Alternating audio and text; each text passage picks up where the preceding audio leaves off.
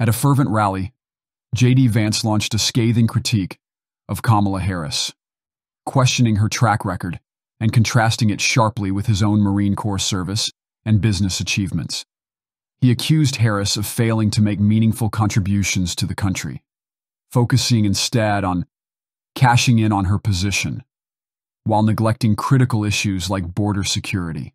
Such an incredible, a blessed week. What a, what a cool thing it was to be asked by President Trump to serve as his running mate and to get out there on the campaign trail. But there's some bad news, actually. Um, the vice president, Kamala Harris, she doesn't like me. Ka- Kamala Harris said something to the effect that, that I have no loyalty to this country. Well, I don't know, Kamala. I did serve in the United States Marine Corps and build a business. What the hell have you done other than collect a check? What has she done other than collect a check from her political offices? And we have to, we, we have to give her credit, my friends.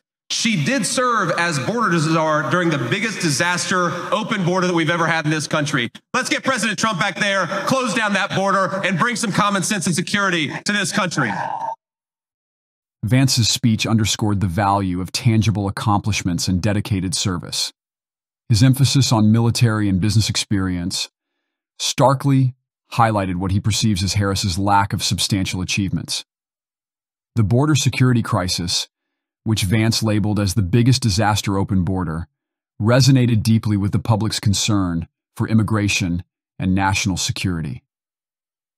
In a powerful rhetorical flourish, Vance demanded, What the hell have you done other than collect a check?